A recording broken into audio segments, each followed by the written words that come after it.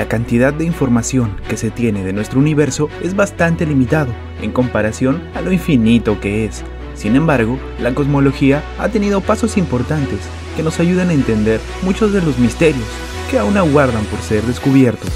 Desde anomalías que atrapan galaxias hasta la formación de nuestra luna, prepárense, porque hoy veremos 10 curiosidades del universo, parte 2. Antes de ver estas curiosidades, te invitamos a que te suscribas al canal si aún no lo estás y a que actives la campana de notificación. Número 10. Todos estamos hechos de estrellas. La frase de Carl Sagan es cierta. Se explica debido a que los elementos químicos, hasta el hierro, se han producido por fusión nuclear en las estrellas, y tanto las plantas como los animales y los seres vivos entre ellos, tenemos en nuestra constitución carbono, oxígeno, hidrógeno y otros elementos ligeros, producidos principalmente en las estrellas. Por ese motivo, se dice que cada uno de nosotros está hecho de estrellas. Número 9. La Luna. La formación de la Luna tuvo lugar hace unos 4.500 millones de años, cuando un planeta del tamaño de Marte, conocido como Teia, chocó abruptamente con la Tierra. La Luna es el resultado de los restos de ese choque cósmico y quedó orbitando alrededor de la Tierra. Sin embargo, hay otras teorías sobre la Luna. La Universidad Western Cape y la de Ámsterdam sugieren que la Luna se originó como consecuencia de una explosión nuclear natural que tuvo lugar en la Tierra. Según otros científicos de la Universidad de California, una segunda luna, más pequeña, se debió de formular simultáneamente junto con nuestro satélite, pero finalmente chocó lentamente contra la Luna y se fusionaron hace millones de años en un solo satélite. Este fenómeno podría explicar por qué son tan diferentes las dos caras de la Luna. Cada año que pasa, la distancia de la Luna a la Tierra aumenta en 4 centímetros. Todo esto debido a la aceleración de la velocidad orbital. Número 8. La anomalía. El supercúmulo de Virgo, donde está nuestro grupo local de galaxias, que incluyen a nuestra Vía Láctea, es solo una parte de la Niaquea, una titánica región del espacio de 520 millones de años luz, dada a conocer el verano del 2014. En ella se integran más de 100.000 galaxias. Las miles y miles de galaxias de la Niaquea fluyen hacia el gran atractor, una enigmática anomalía gravitatoria situada en su centro que parece tirar de ellas, que arrastra las galaxias en un radio de más de 300 millones de años luz de distancia. Estas galaxias presentan un desplazamiento, como si se alejasen de nosotros. Sin embargo, existen galaxias que se encuentran justo detrás de esa zona hipermasiva de desplazamiento. Debido a la colosal atracción gravitatoria ejercida por el atractor, presentan un trayecto casi inexistente, siendo atrapadas así por esta anomalía que las atrae hacia ellas. Número 7. Saturno. Saturno es un planeta que podría flotar en el agua debido a su baja densidad. Los anillos de Saturno cuentan con un diámetro de 274.000 kilómetros, una altura de 5 kilómetros y un ancho en donde caben 6 veces la Tierra. Además, los asteroides que componen los anillos están formados de hielo y rocas que pueden variar en cuanto a su tamaño. Las partículas que componen los anillos de Saturno giran a una velocidad de 48.000 kilómetros por hora, 15 veces más rápido que una bala. Saturno es el planeta que gira más rápido, completando una vuelta cada 10 horas y media. El último hallazgo en Saturno, que es todo un misterio para los astrónomos, consiste en un hexágono gigante que rodea el Polo Norte. Sus lados miden aproximadamente 25.000 kilómetros. A través de imágenes termales se sabe que alcanza 60 kilómetros hacia abajo en la atmósfera saturnina, pero a ciencia cierta no se sabe aún de qué puede tratarse. Número 6.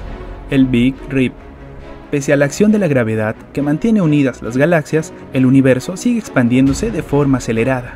Esto podría deberse a la acción de una misteriosa energía oscura, que, en esencia, llenaría los aparentes vacíos del espacio. Aproximadamente todos los días nacen 275 millones de nuevas estrellas, una de las razones por las que el universo tiene un tamaño incalculable.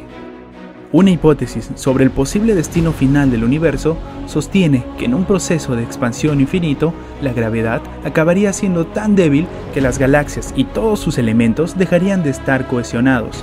Con el tiempo, este proceso originaría el desgarramiento de la materia. también conocido como Big Rip. Número 5. Júpiter. Júpiter es tan grande que podrían caber todos los planetas del sistema solar dentro de él. Las 63 lunas de Júpiter tienen tamaños enormes, algunos incluso mayores que Plutón y Mercurio. Algunas lunas de Júpiter son Europa, Calisto e Io, que son las más grandes del sistema solar. Io tiene una enorme actividad volcánica, tiene los volcanes más activos del sistema solar, como por ejemplo Loki, que es el volcán del sistema solar que expulsa más materia al exterior. Ganímedes es el satélite más grande de Júpiter, también lo es del sistema solar. Número 4. Venus.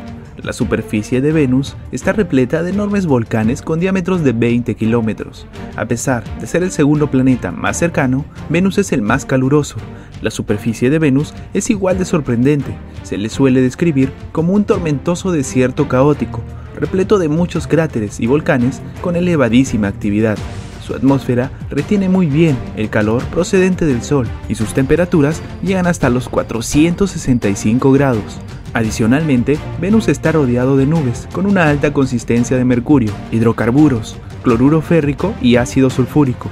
Esas nubes crean una constante lluvia ácida, más corrosiva que en cualquier otro lugar del sistema solar. Número 3. Las estrellas. Cuando miramos al cielo por la noche, en realidad estamos echando un vistazo al pasado, porque la mayoría de las estrellas están a millones de años luz de la Tierra, la luz de esas estrellas tarda mucho en llegar a nuestro planeta. Es probable que veamos estrellas que ya murieron hace mucho tiempo. En el año 1054, astrónomos observaron una explosión en el cielo que se hizo visible durante meses. Se trató de la explosión de una supernova. Fue la aparición de la nebulosa del Cangrejo. En 1731, esta nebulosa fue identificada por John Bevis. Tiene un diámetro de 25 mil billones de kilómetros y se expande a una velocidad de un kilómetro por segundo. Número 2. Mercurio. La superficie de Mercurio, iluminada por el Sol, puede alcanzar los 430 grados, pero como el planeta no tiene una atmósfera que retenga este calor, las temperaturas nocturnas en la superficie pueden caer hasta los menos 170 grados. En Venus, en cambio, la temperatura de la superficie nunca baja de los 400 grados. Así es, a pesar de ser el planeta más cercano al Sol, Mercurio no es el planeta más caliente. Mercurio es el planeta más pequeño del sistema solar y adicionalmente, según las investigaciones, en los últimos 4.000 millones de años ha encogido su radio unos 7 kilómetros. La cuenca Caloris, una de las mayores formaciones en Mercurio, mide unos 1.300 kilómetros de diámetro y es el resultado del impacto de un asteroide en la superficie del planeta en una etapa temprana del sistema solar. Número 1. El Sol. El Sol es el 99% de la masa total del sistema solar. La energía que libera el Sol cada segundo equivale a 100 millones de bombas nucleares. Esta energía se produce consumiendo hidrógeno mediante un proceso denominado la fusión nuclear. La energía producida mediante esta fusión nuclear consume cada segundo 4.500 millones de toneladas de hidrógeno. Puesto que la cantidad de hidrógeno disponible en el Sol es finita, se estima que dispone de unas reservas para unos 5.000 millones de años. La temperatura en la superficie del Sol es de unos 6.000 grados Celsius y en su interior llega a 14 millones de grados. Muchos científicos asocian los cambios climáticos que ocurren en la Tierra a variaciones de la actividad energética, también conocidas como las llamaradas del Sol, las erupciones solares afectan a la temperatura en la superficie de la Tierra y de todo el sistema solar. En esta ocasión, los saludos son para las siguientes personas.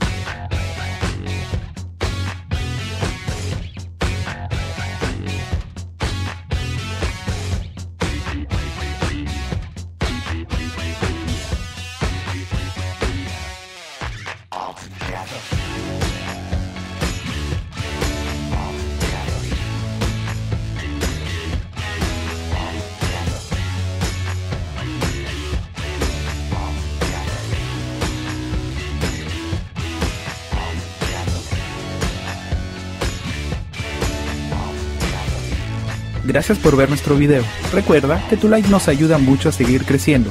Suscríbete para más contenido y nos vemos en la próxima.